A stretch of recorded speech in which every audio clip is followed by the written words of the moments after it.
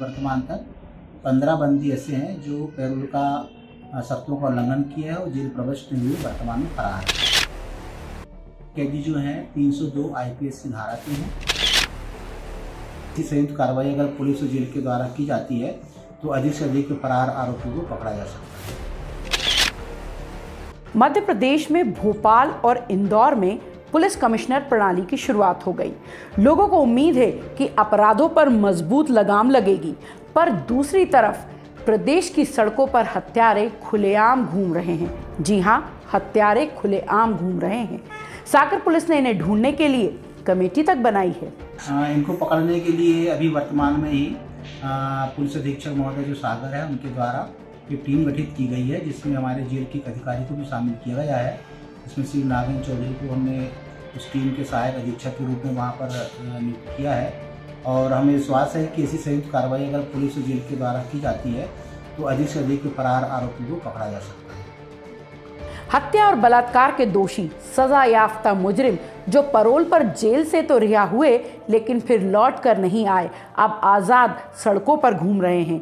बेफिक्र जेल प्रबंधन ने भी इन्हें ढूँढने में कोई ठोस कदम नहीं उठाया। सागर जेल से पेरोल पर रिहा पंद्रह हत्यारे, वापस नहीं लौटे।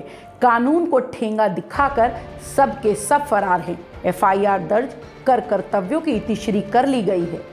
सागर केंद्रीय जेल से वर्ष 2011 से आज तक हत्या की सजा काट रहे 15 कैदी ऐसे हैं जो परोल पे जाने के बाद वापस नहीं लौटे हैं।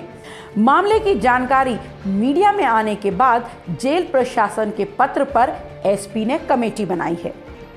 जेल से जो बंदी को पैरोल मिलती है उस पैरोल के दौरान 2011 से लेके अभी वर्तमान तक 15 बंदी ऐसे हैं जो पैरोल का शर्तों का उल्लंघन किया है और जेल प्रवेश हुए, वर्तमान में फरार हैं। और ये सारे कैदी जो हैं 302 आईपीएस की धारा के हैं, जो जेल प्रविष्ट नहीं हुए हैं। यद्यपि इन फरार कैदियों के विरुद्ध संबंधित थाने में एफ़ दर्ज कराई गई है, लेकिन अभी वर्तमान में ये जेल प्रविष्ट नहीं हुए हैं। पंद्रह हत्यारे सड़कों पर। ये आंकड़ा सिर्फ़ सागर का है। पूरे राज्य में इनकी तादाद हज़ारों की है।